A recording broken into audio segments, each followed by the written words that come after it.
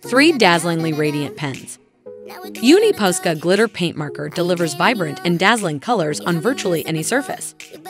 The Pilot Keys Lane Frixion pen, with its shimmering color effects, can be easily erased and restored with a straightening irons and a cooling mist.